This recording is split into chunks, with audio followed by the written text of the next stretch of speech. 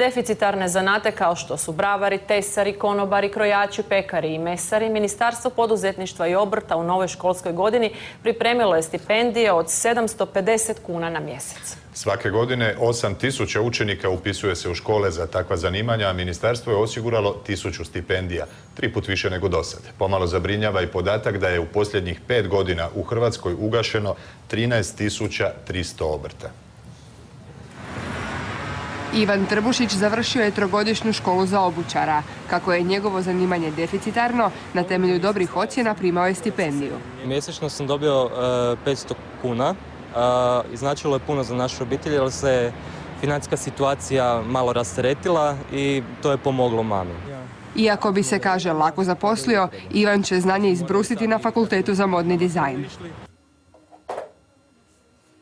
O stipendiji u školi majstor Branko Stričak nije mogao ni sanjati. Danas pozdravlja stipendiranje budućih zanatlija jer zna da se bavi deficitarnim zanimanjem.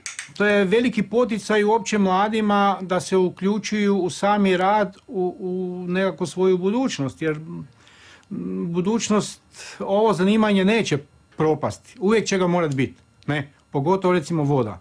Vodu neće moći raditi nikakvi strojevi, nikakvi roboti, znači morat će biti prisutna ljudska ruka.